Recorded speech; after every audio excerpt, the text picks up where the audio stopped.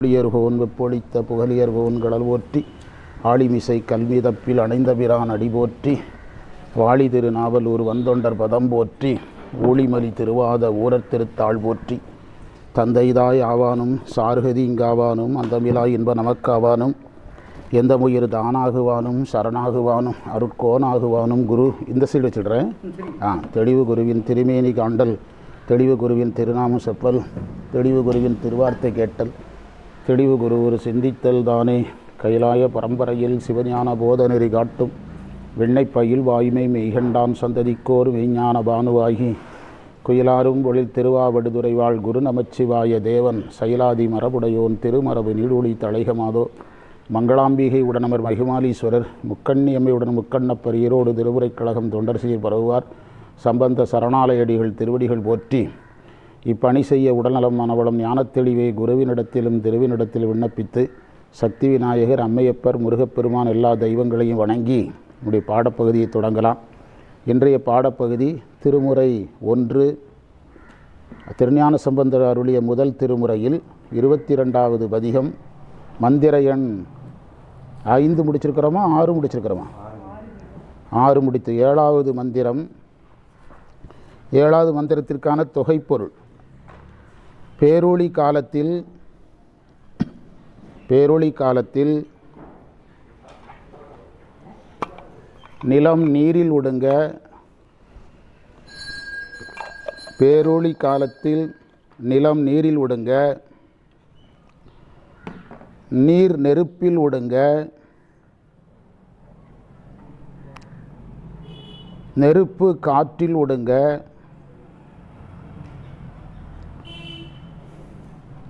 காற்று ஆகாயத்தில் ஒடுங்க.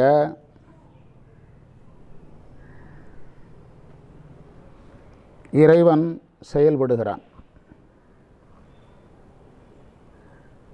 அடுத்த பத்தி விரிந்த இந்த உலகம்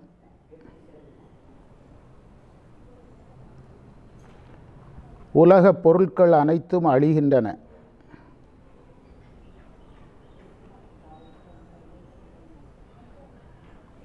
அப்போது சிவன் பிரம்மனுடைய முழு எலும்புக்கூட்டையும் விஷ்ணுவினுடைய மு முழு எலும்புக்கூட்டையும் அணிந்து கொள்கிறார்.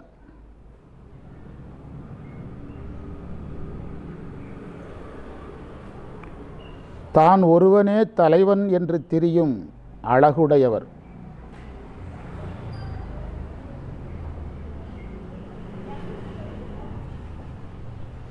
மலர்களில் வண்டுகள் இசை பாடுகின்ற இந்த திருமுறை காட்டில் இறைவன் பரமனாக எழுந்தருளியுள்ளார்.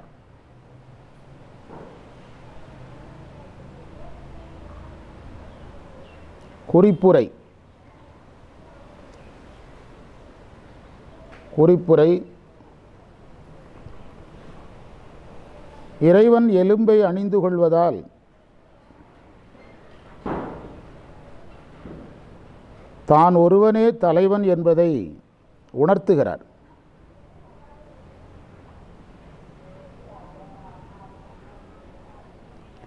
இந்த சங்கார காரணனையே இந்த சங்கார காரணனையே உலகு முதலாக உடையது என்பதையும் உணர்த்துகிறார்.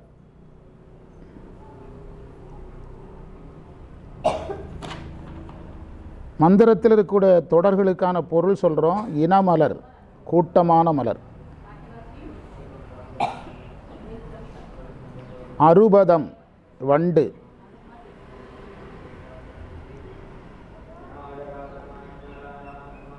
ஆகாயத்திலிருந்து கீழ் நோக்கி சொன்னால் அது தோற்ற முறை எனப்படும்.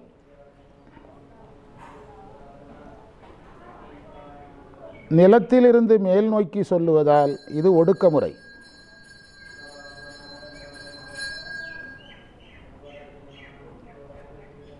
இந்த மந்திரத்தில் சொல்லப்பட்டிருப்பது ஒடுக்கமுறை.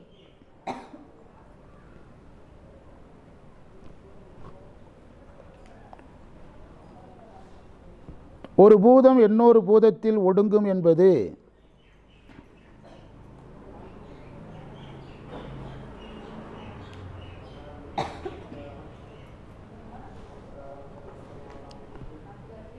ஒடுங்கும் என்பது ஒரு பூதத்தின் குணம் இன்னொரு பூதத்தில் இருக்கும் என்பதை காட்டுகிறது.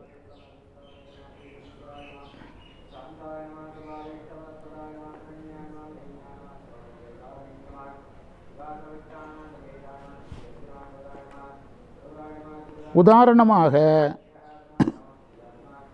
நீருக்குரிய ஐந்து குணங்களும்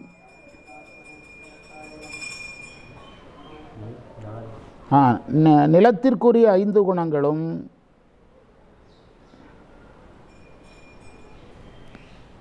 நீரிற்கும் இருக்க வேண்டும். நீரிற்கும் இருக்க வேண்டும்.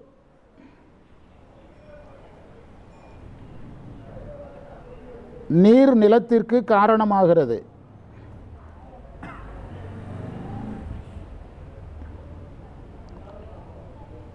நீரில் இல்லாத ஐந்து குணம் நிலத்திற்கு எப்படி வரும்? புரியுதா? இப்ப நம்ம நீருக்கு நான்கு குணம்னு சொல்கிறோம்னா ஒரு குணம் வந்து ஒடுங்கி இருக்குன்னு அர்த்தம் தவிர இல்லைன்னு அர்த்தம் கிடையாது. புரியுதா? ஆமாம் இருக்கும். நீருக்கு ஐந்து குணம் இல்லாமல் நிலத்துக்கு ஐந்து குணம் என்ன செய்யாது? வராது. ஆனால் மாணிக்க வாசகர் நீருக்கு நான்கு குணம் என்று சொன்னது வெளிப்படையாக இருக்கிற நான்கு குணங்களை சொல்லுகிறார். இவ்வாறே பிற பூதங்களையும் நாம் உணர்ந்து கொள்ள வேண்டும்.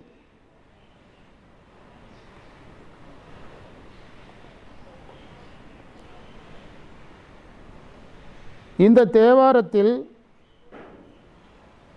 ஒரு பஞ்சபூத ஒரு பூதத்திலிருந்து இன்னொரு பூதம் தோன்றும் என்பதும்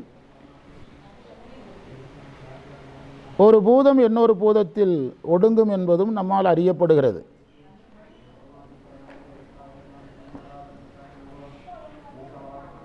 ஆனால்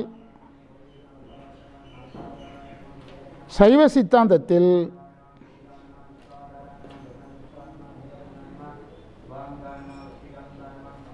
ஒரு பூதம் தோன்றுவதற்கு இன்னொரு பூதம் காரணமாக சொல்லப்படாது.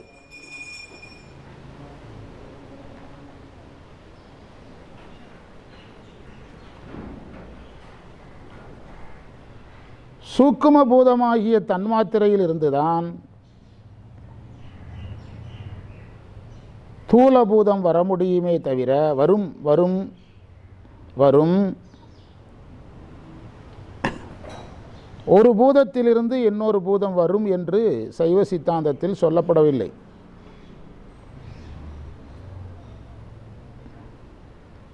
அப்படியானால் இந்த தேவாரத்தில் தன்மாத்திரைகள் பேசப்படாமல்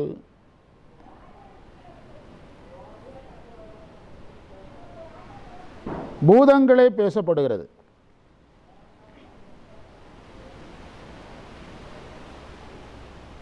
அப்போது இங்கு ஒரு கேள்வி எழும்.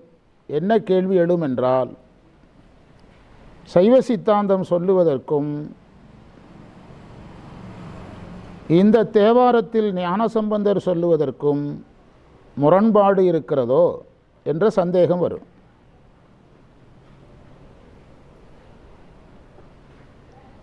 இந்த ஐயத்தை நீக்குவதற்காக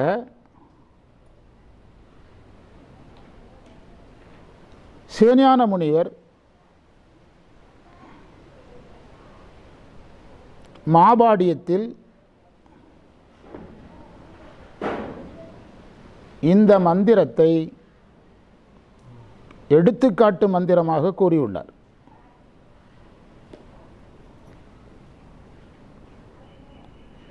எடுத்துக்காட்டு மந்திரமாக கூறியுள்ளார்.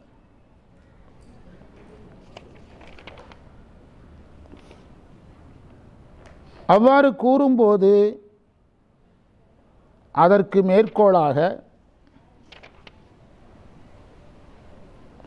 தைத்திரிய உபநிடதம் தைத்திரியம் அப்படின்னு போட்டிருப்பாங்க. தைத்திரிய உபநிடதம்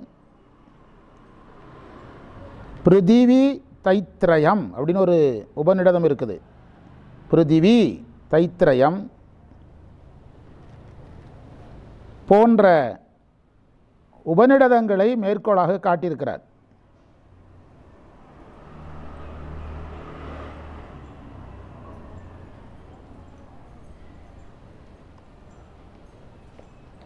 காட்டி ஒன்றுக்கொன்று முரண்படுதல் இல்லை.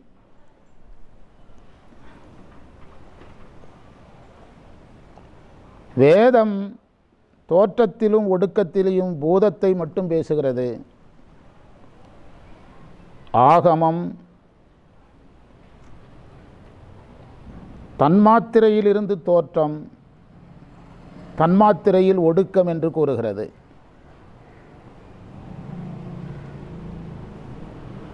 எனவே இங்கு முரண்பட சொல்லப்பட்டது என்று பொருள் கொள்ளுதல் கூடாது. தோற்ற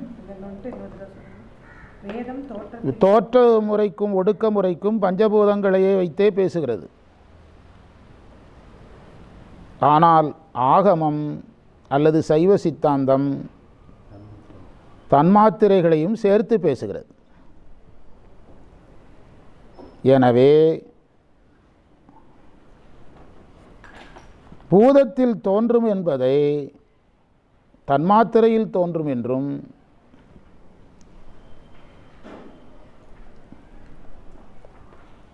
பூதத்தில் ஒடுங்கும் என்பதை தன்மாத்திரையில் ஒடுங்கும் என்றும் நாம் பொரிந் புரிந்து கொள்ள வேண்டும்.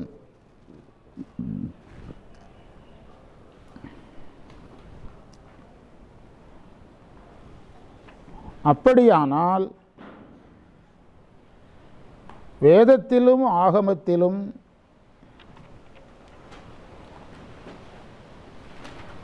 இறையருள் பெற்று நின்ற ஞான சம்பந்தர்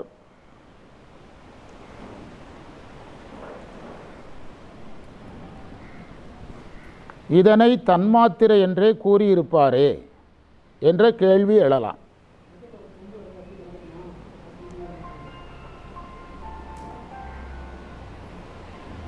இந்த நிலையில் நாம்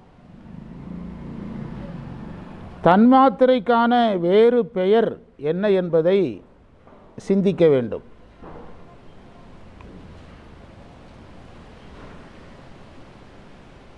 பஞ்சபூதங்களை சைவ சித்தாந்தம் தூலபூதம் என்று சொல்லுகிறது.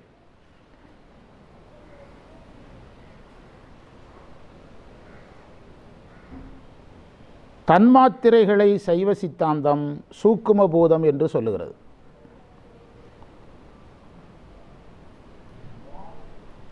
எனவே பூதம் என்ற வகையில் இரண்டும் என்னதுதான்? ஒன்று தான் மறைந்திருக்குது. காரண காரியத்தில் தான் இருக்குது. ஆமாம் வேதம் காரியத்தை சொல்லுகிறது. ஆகமும் காரண காரியம் இரண்டையும் சொல்லுகிறது.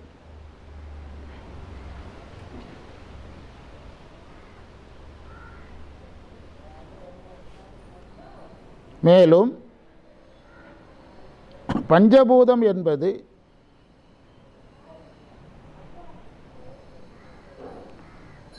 நிலம் நீர் நெருப்பு காற்று ஆகாயத்தை குறிக்கும்.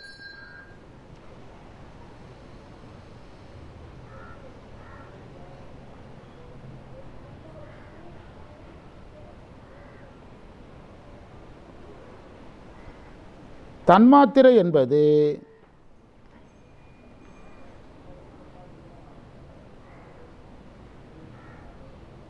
அவை தோன்றுவதற்கு காரணமாக இருக்கின்ற இருப்பதை குறிக்கும்.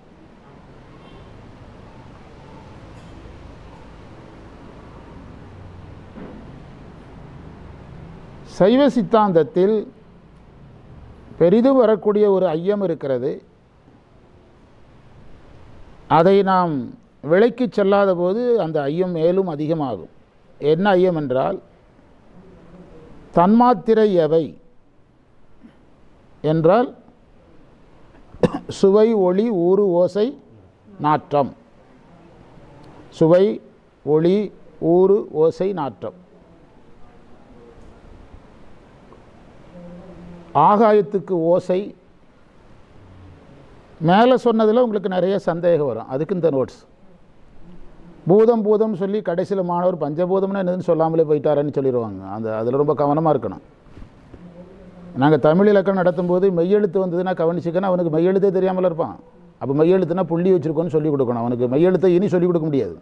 இனி எதெல்லாம் மெய்யெழுத்துன்னு பத்தாவதுக்கு வந்தவரை சொல்ல முடியாது. அப்போ என்ன ஒரு ரூட் வச்சுருப்போம்? புள்ளி வச்சு எடுத்து மெய்யெழுத்து வச்சுக்க அவ்வளோதான் நெடில்னா பக்கத்தில் என்னெல்லாம் இருக்கும்? கால் இருந்தால் நெடில் ரெட்டை கும்பர் அப்படி. இனி திரும்ப அவனுக்கு முதல்ல இருந்து வர முடியாது. அதனால் வந்து ஒரு பாடத்தை நடத்தினோம்னா அதில் மாணவருக்கு சில சந்தேகம் வரும். அது அது என்னங்கிறத ரெண்டாவது சொல்லிடணும். அதுதான் இப்போ சொல்லிகிட்டு இருக்கோம். ஆகாயத்திற்கு தன்மாத்திரை ஓசை காற்றுக்கு தன்மாத்திரை ஸ்பரிசம். ஸ்பரிசம்னா தொடு உணர்வு. ஆகாயம் நம்ம மேலே படுறது தெரியாது. காற்று படுறது தெரியும். நெருப்புக்கு தன்மாத்திரை உருவம்.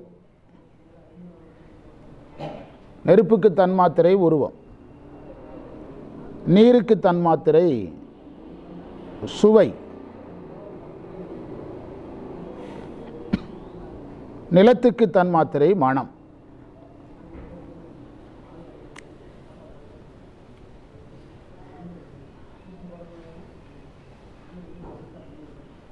அது திரும்ப வேறு மா மாணிக்கவாசகர் சொல்கிற மாதிரி எழுதணும். புரியுதா?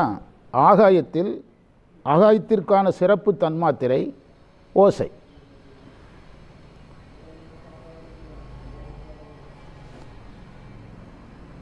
காற்று தோன்றும் போது ஓசையும் அதனுடைய சிறப்பு தன்மாத்திரையாக எதுவும் இருக்கும்?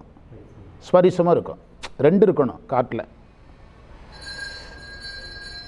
வெளிப்படையாக இருக்கணும் ரெண்டும். ஆ இனி வந்து அது ஒன் ஒன்று மூணு நாலு. ஆமாம் வரும். ஆகாயத்திற்கு ஓசை என்ற ஆகாயத்தின் தன்மா காற்றுக்கு ஆகாயத்தின் தன்மாத்திரையும் காற்றுக்கே உரிய சிறப்பு தன்மாத்திரை என்னது? பரிசு பரிசம். அதுவும் இருக்கும். சரியா?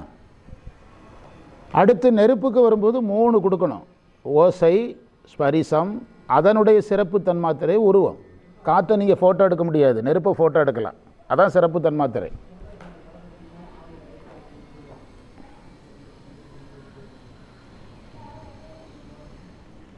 நீருக்கான தன்மாத்திரை மேலே உள்ள மூணு ஓசை ஸ்பரிசம் உருவம் சுவை இருக்கும். சுவை அதனுடைய சிறப்பு தன்மாத்திரை. அதுக்குரிய தன்மாத்திரை. ஆமாம் நீருக்கான ஸ்பெஷல் தன்மாத்திரை.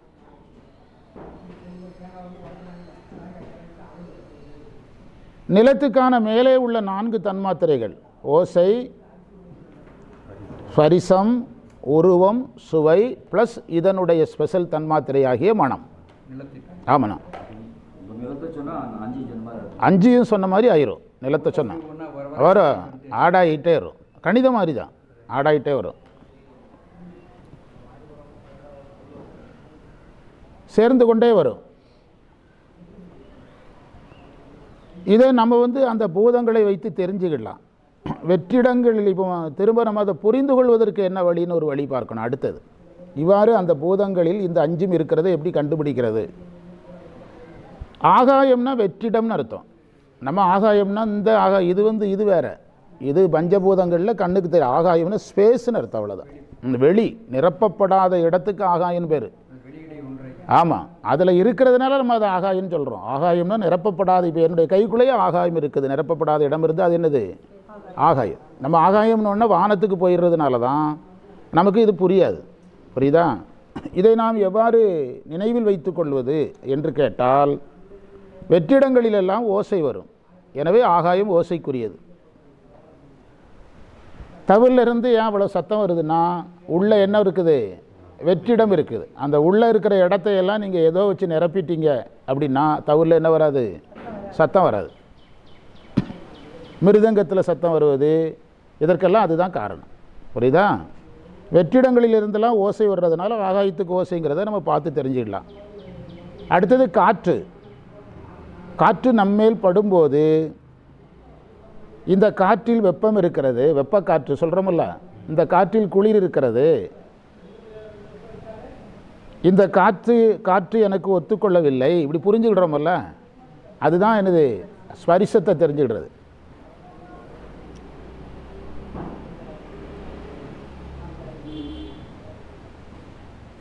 நெருப்பு நம்முடைய கண்ணுக்கு தெரியுது. காற்று தெரியாது. கண்ணுக்கு தெரிஞ்சிட்டா உருவத்துக்கு வந்துடும் அதுக்கு பிறகு வர்ற எல்லாமே உருவத்துக்கு வந்தாகணும். நெருப்புக்கு பிறகு வர்றதெல்லாம் உருவத்தில் வரணும். கண்ணுக்கு தெரிகிறது. இப்போ வேள்வி குண்டத்தில் வந்து வேள்வி எரியும் போது அம்மன் மாதிரி உருவம் வந்தது நடராஜர் மாதிரி வந்ததுலாம் சொல்கிறாங்கல்ல அதுதான் அதுக்கு உருவத்துக்கு அடம் அடையாளம். ம். ஆ? கண்ணில் பார்க்குறோம் ஆமாம் அதற்கடுத்தது என்னது? நீர். அதுக்கு பிறகு எல்லாம் கண்ணுக்கு தெரிய ஆரம்பிச்சிடும் நீர். நீருக்கு நம்ம நான்கு குணம் சொல்கிறோம் இப்போ நீங்கள் இப்படியும் தெரிஞ்சு வச்சுக்கிடணும். எப்படின்னா காற்றில் வந்து ஓசையும் இருக்கும்.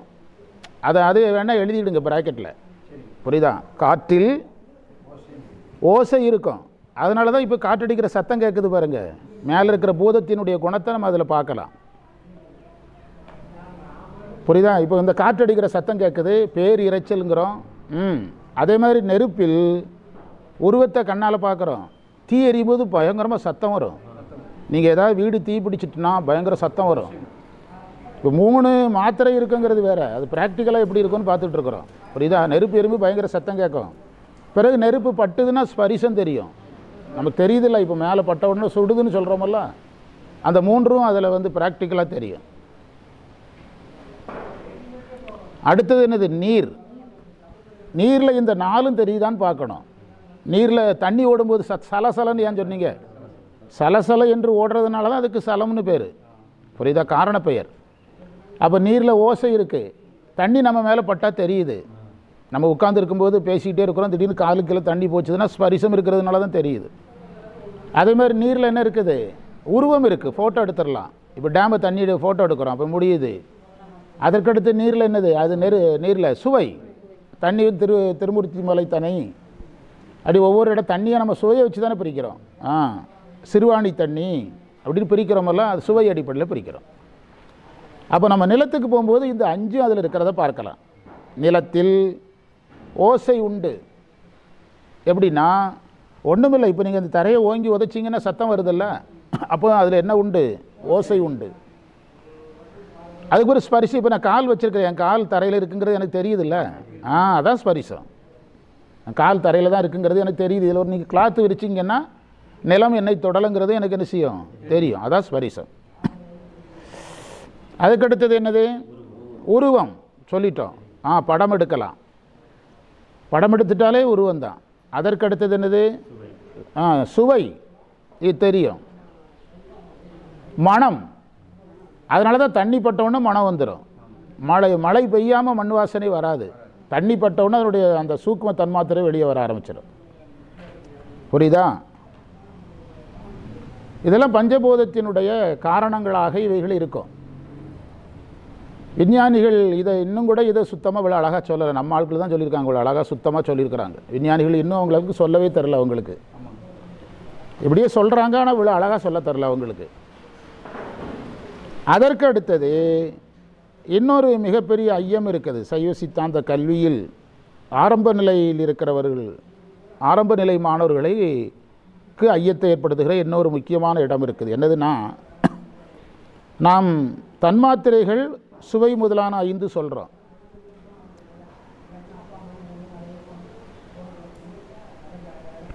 புலன்களுக்கும் அதைத்தான் சொல்கிறோம் ஐம்புலன்னு கேட்டாலும் அதையே சொல்கிறோம்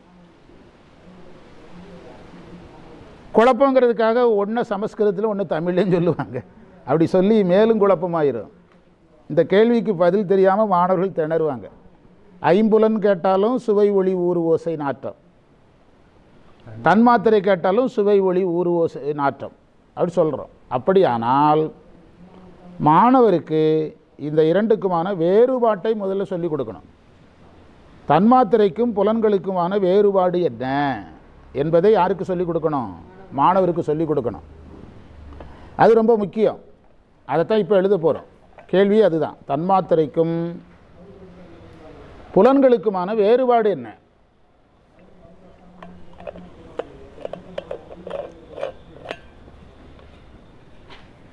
தன்மாத்திரை என்பது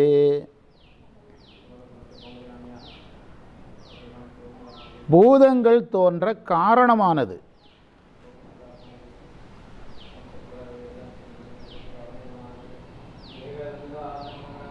அது நம் புலன்களுக்கு எட்டாது.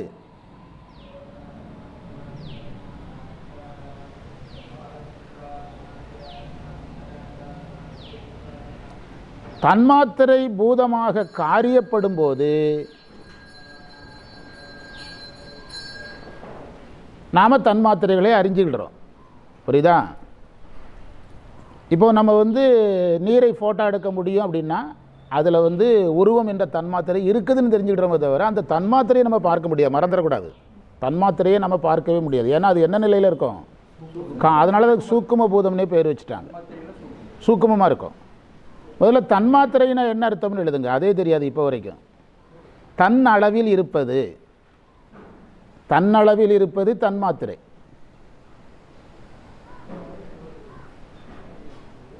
களிமண் போன்றது தன்மாத்திரை பானை போன்றது பூதம்னு சொன்னாலும் அங்கே ஒரு சிக்கலும் வரும் ஞாபகம் வைக்கிறதுக்கு வச்சுக்கிடலாம். ஆனால் களிமண் கண்ணுக்கு தெரியுத?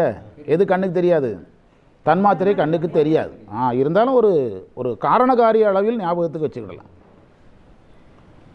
இந்த இரண்டுக்குமான வேறுபாடில் ஐம்பலனுக்கும் தன்மாத்திரைக்குமான வேறுபாடு என்னவென்றால் தன்மாத்திரை என்பது காரணம் புலன் என்பது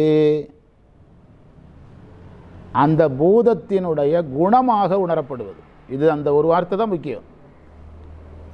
புலன் என்பது அந்த பூதத்தின் குணமாக உணரப்படுவது.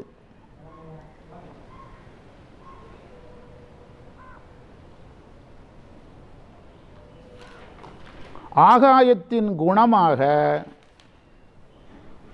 செவி ஓசையை பெறுகிறது. ஆகாயத்தின் குணம்னு வச்சுக்கிடணும். புரியுதா உங்களுக்கு? ரெண்டுக்கும் பேர் ஒன்று தானுங்க தன்மாத்திரைன்னு கேட்டாலும் அதையே சொல்லுவாங்க. பூதம் ஐம்புலன்னு கேட்டாலும் அதையே சொல்லுவாங்க.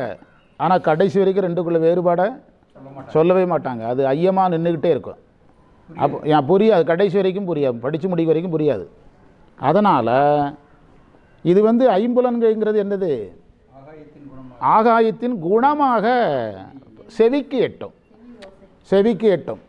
அதாவது பிராக்கெட்டில் நீங்கள் என்ன போட்டுக்கிடணும்னா புலன்களை நாம் சிந்திக்கும்போது ஐம்பொறியோடு சேர்த்து சிந்திக்கலாம். புரியுதா உங்களுக்கு? ஐம்பொறியோடு சேர்த்து சிந்திக்க வேண்டும் அல்லது சிந்திக்கலாம். நீங்கள் ஓசைன்னு வந்தோடனே காதுக்கு வந்துடணும் தன்மாத்திரையில் அப்படி போக வேண்டியதில்லை சார் இதான் விஷயம். புரியுதா? ஓசைன்னு சொன்ன உடனே நீங்கள் புலன்களை பற்றி படிக்க ஆரம்பிச்சிங்கன்னா ஓசைன்னு ஒன்று என்ன ஞாபகம் வந்துடணும்? காது. செவிக்கு அதனுடைய ஓசையாக வந்து எட்டம். தன்மாத்திரை வந்து எட்டம். அதுக்கு அடுத்தது என்னது? அடுத்தது பூதம். ஸ்பரிசம் காற்றின் குணமாக நம்முடைய தோல் அல்லது உடம்புக்கு உடம்பால் உணரப்படும் உடம்பாக உணரப்படும். ஸ்பரிசம் காற்றின் குணமாக நம்முடைய உடம்பால் அல்லது தோலால் உணரப்படும். அதாவது தன்மாத்திரையை நீங்கள் உணர முடியாது சார். எதை உணரலாம்? அதுதான். புலனாகுவதனால தான் அதுக்கு புலன்னு பேர். தன்மாத்திரை வந்து புலனாகாது. அது தன்மாத்திரையாக இருக்கும்போது தெரியாது. பூதமாகும்போது தான் தெரியும். ஆ அடுத்தது என்னது? அடுத்தது. நெருப்பு. ஆ நெருப்பு. அதனுடைய சிறப்பு குணம் என்னது? உருவம். சிறப்பு குணம். அதன் சிறப்பு குணமாகிய உருவத்தால் கண்ணுக்கு எட்டும் புரியுதா உங்களுக்கு? அதன் சிறப்பு குணமாகிய உருவத்தால் மற்ற எல்லாம் அதில் வர்றோம். சொல்கிறது எல்லாமே அதில் வந்துடும் அதனுடைய சிறப்பு குணமாகிய உருவத்தால் கண்ணுக்கு எட்டும். இதை நீங்கள் ப்ராக்கெட்டில் இப்படி கூட எழுதலாம். இதனை நம்முடைய சித்தாந்த நூல்களில் விடயமாகும் விடயமாகும்னு போட்டிருப்பாங்க. விடயமாகும்னா அறியப்படும் பொருளாக உணரப்படும் பொருளாக எட்டும்னு அர்த்தம். கண்ணுக்கு விடயமாகும் செவிக்கு விடயமாகும்னு போட்டிருப்பாங்க. விடயம்னா பொருள்னு அர்த்தம். விரும்பப்படுவது பொருள்ங்கிற மீனிங்கிலெல்லாம் வரும். அடுத்தது என்ன பூதம்? நீர். நீரினுடைய சிறப்பு தன்மாத்திரை என்னது? சுவை. நீரின் சுவை. வா என்ற இந்திரியத்தால் நீரின் சுவையாகிய குணம் வா என்ற இந்திரியத்தால் அறியப்படும். உணரப்படும்லாம் கிடையாது. அது நேரடியாக அறிஞ்சிருது இல்லை ஆனால் நீங்கள் தன்மாத்திரையை என்ன செய்ய முடியாது? அறிய முடியாது. அறியப்படும்.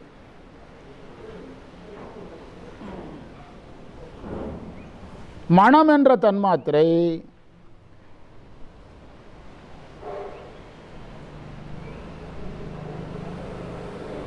மனம் என்ற நிலத்தின் குணமாகிய தன்மாத்திரை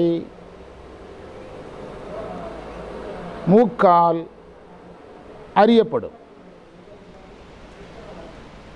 இந்த கேள்விகளெல்லாம் நானே பல வருஷங்கள் கேட்டு ஒருத்தரும் சொல்லித்தராமல் நானே திரும்ப திரும்ப படித்து படித்து அந்த புஸ்தகங்களில் கண்டுபிடிச்சேன்.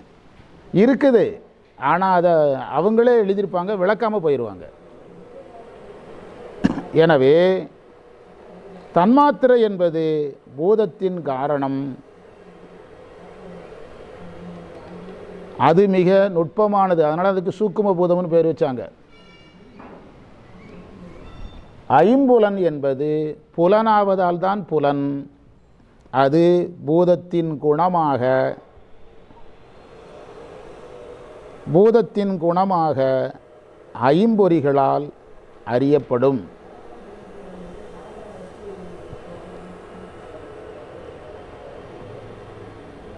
இவ்வளவு சைவ சித்தாந்த விஷயங்களை எல்லாம் தனக்குள் கொண்ட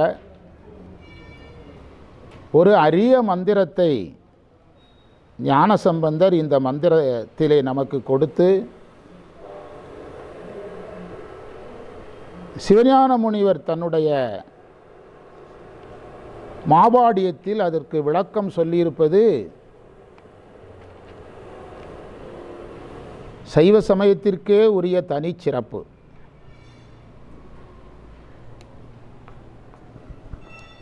எனவே இங்கு முரண்பாடுகள் ஏதும் கிடையாது. பூதத்தில் ஒடுங்கியது என்பதை எதில் ஒடுங்கியது என்று புரிந்து கொண்டால் போதும்? தன்மாத்திரையில் ஒடுங்கியது என்று புரிந்து கொண்டால் போதும்.